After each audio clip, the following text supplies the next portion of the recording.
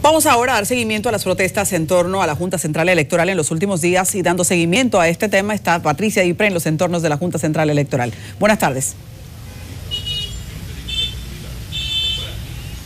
Muchísimas gracias y muy buenas tardes. En absoluta calma transcurre este día de jueves en la sede principal de la Junta Central Electoral, luego de que este miércoles se agotara una extensa jornada en audiencia pública donde las organizaciones políticas, en conjunto con el pleno de este órgano de comicios, debatieron algunos temas respecto a la reorganización de este frustrado proceso electoral, decir que ya para este jueves, a pesar de que aún se mantienen las convocatorias a algunas manifestaciones, ha sido reducida en una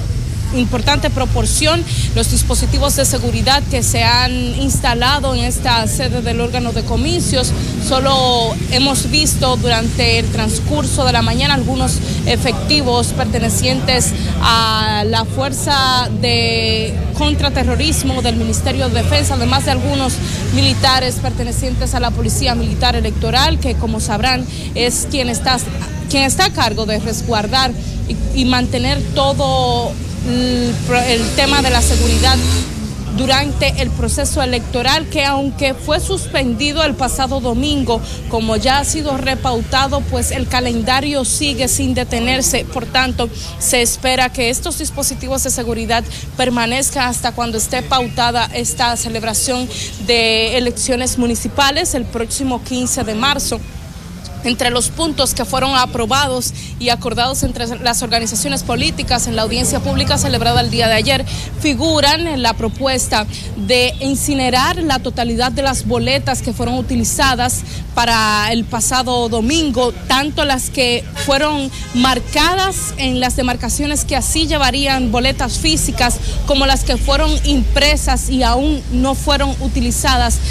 a la hora de haber sido suspendido el proceso. Ya habría que esperar cuál será la decisión del Pleno de la Junta Central Electoral si respecto a que imprimirán nuevas boletas vía una licitación convocada de forma urgente o será consignada a la misma empresa que, tuvo a cargo la impresión de las boletas del pasado proceso. Decir además que en el día de ayer el Pleno de la Junta Central Electoral en específico el presidente del órgano, confirmaba a las organizaciones políticas que se dispondrá de la totalidad de los recursos para poder presentarse, para que estas organizaciones puedan presentarse en esos comicios del 15 de marzo. Y aunque está a la espera de que se conozca una propuesta eh, directamente planteada por el Partido Revolucionario Moderno de que en un presupuesto de una eventual segunda vuelta presidencial sea utilizado en esos comicios de febrero. Todo eso será discutido y evaluado por el Pleno de la Junta y se espera una decisión,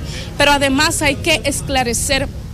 la información de que la Junta Central Electoral emitió una circular a los funcionarios y personal que trabajó en las mesas electorales para que hicieran la devolución respecto a, algunos viáticos y sumas dispuestas para hospedaje. Estas sumas, de acuerdo al contenido de la misiva, lo que contempla es que se ha devuelto el hospedaje y los viáticos que fueron asignados para los días posteriores al proceso electoral y que por ser suspendidos no fueron utilizados en este proceso. Sobre esto trataremos de consultar al presidente de la Junta Central Electoral que hasta esta hora del día no le hemos visto, hemos recibido la información de que ya se encuentra en el órgano, pero de forma oficial no podemos precisarlo, pues sus vehículos en los que tradicionalmente se presenta aquí al órgano aún no han sido ubicados en el área de estacionamiento. Estaremos al pendiente para poder llevar esta información y otros temas que han concitado el interés respecto a cómo va el proceso de investigación en el alegado boicot al sistema de votación automatizada que frustró ese proceso eleccionario del pasado domingo. Con estas informaciones retorno al set de noticias.